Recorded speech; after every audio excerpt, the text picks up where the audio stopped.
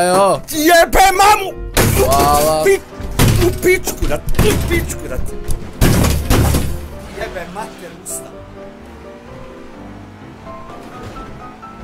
Izvinjavam se, mnogo se izvinjavam.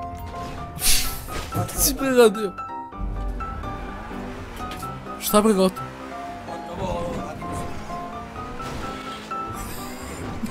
Čekaj se.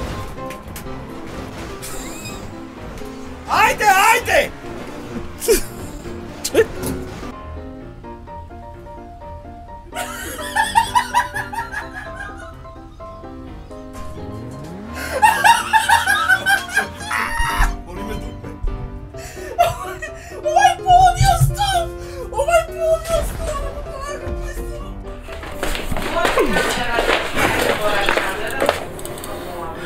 Ja ću prođem.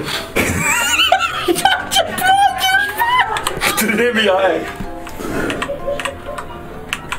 Ja! Ljudi, došao je taj dan. Posle ko zna koliko, sigurno pola godine. E, pa tako sam se trudio pola godine. Koliko je sto?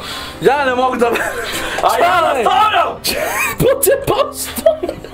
I ja, ništa će, nastavimo dalje. Ajde, Jo, to ti se skačio! polomio sam i to.